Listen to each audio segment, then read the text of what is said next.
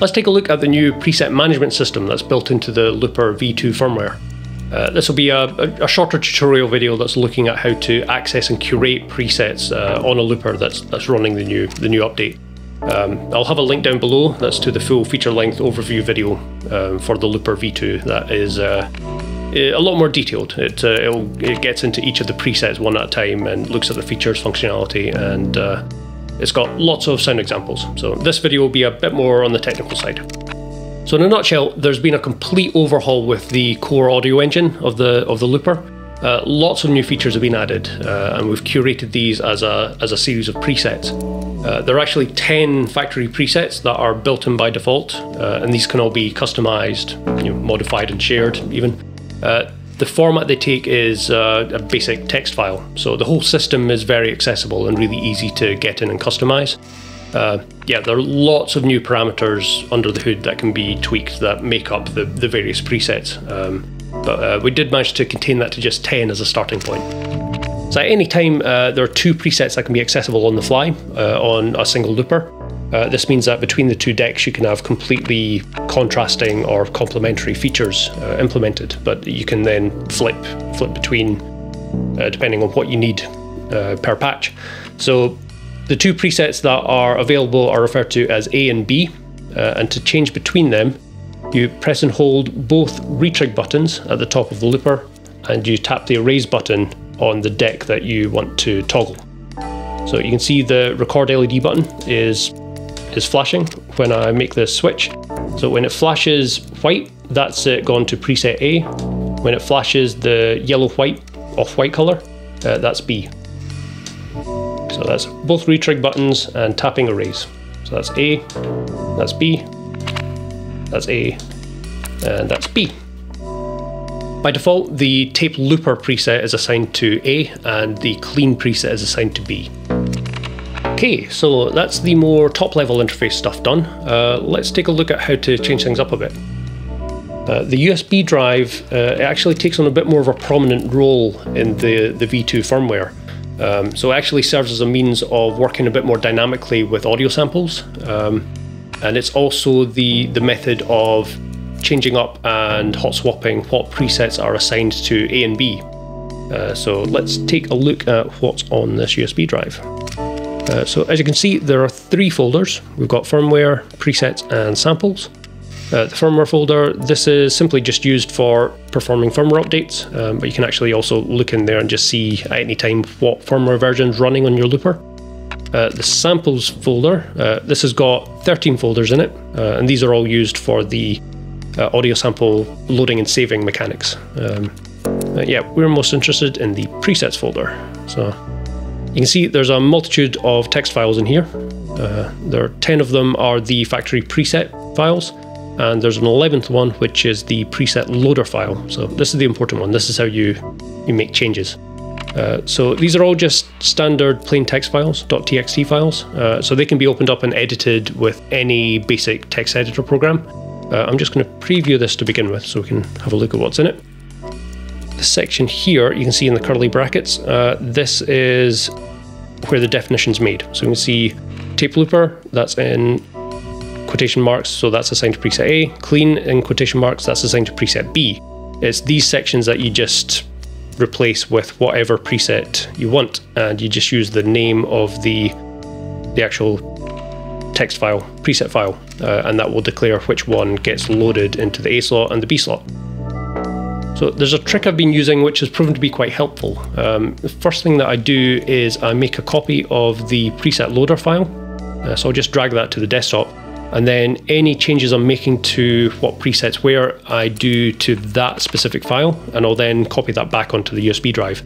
Um, it's a bit of an extra step, but there's there are a couple of benefits to this. So, say for example, I have a big system patched up and I've got a USB drive assigned to a looper.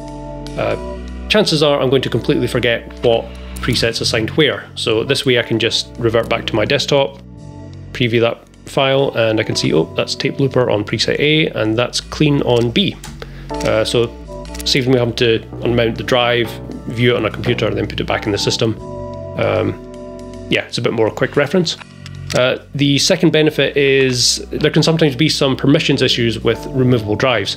um, and depending on what operating system you're on.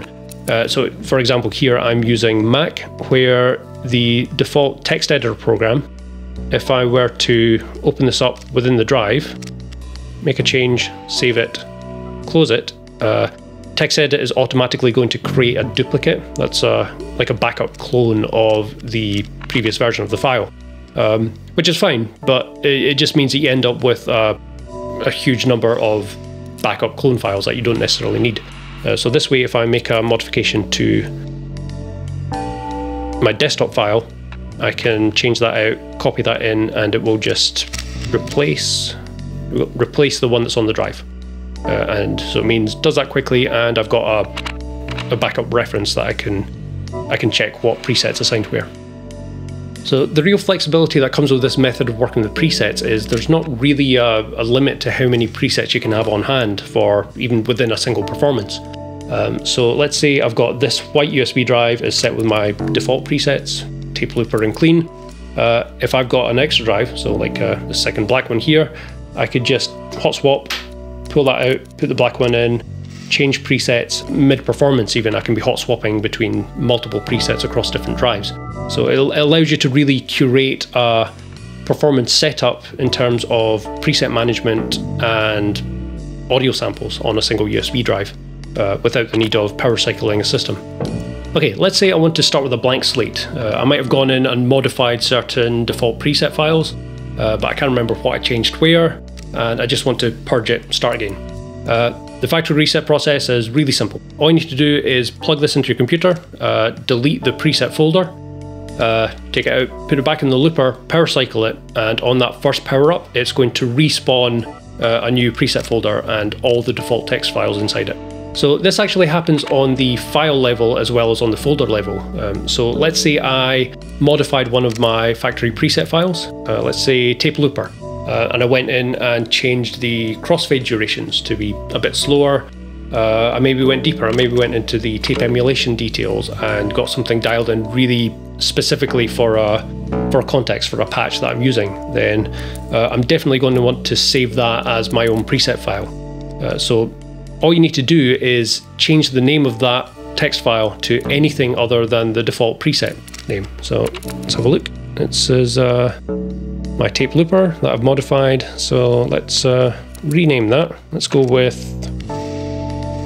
loop-ti-do.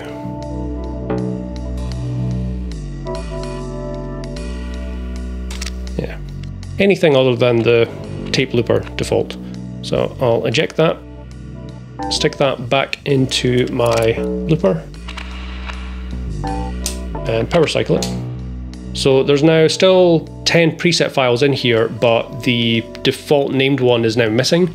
Uh, on the first power cycle, the looper is going to recognize that and it will basically go through and just fill in the gaps. So if there are any files missing from the default 10, it will respawn them and just add them back to the directory.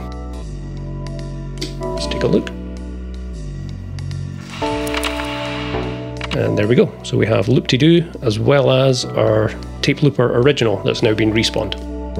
Uh, the USB drives that we ship with the looper are all pre-formatted to MS-DOS FAT32.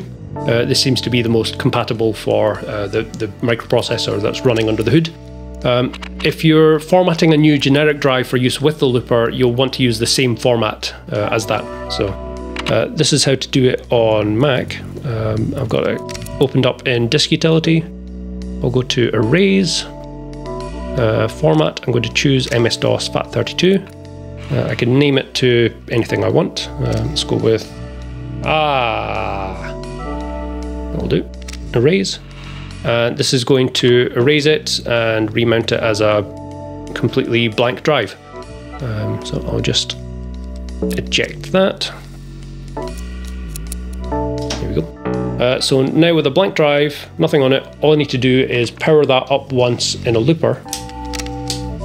Uh, and it's actually going to respawn the full folder structure, the default preset files, the a new tarball file that indicates what firmware version it's on, uh, and it'll also rebuild the full folder structure of 13 folders, 12 for loading, one for saving, uh, for uh, sample management on the looper. So that's now done. Let's have a look see how it's looking. open up the drive. Here we go. Firmware, presets, samples. Good to go. So hopefully that covers all bases. Uh, there's a lot of uh, flexibility with this preset system, as you'll as you'll see. Um, yeah, I'll link below to the other Lúbadh V2 videos. Uh, there's a full feature length one, which is uh, that goes through all the features and functionality of the various presets. Uh, there's also a shorter tutorial on how to perform firmware updates on the Lúbadh. Uh, yeah, hope you enjoy.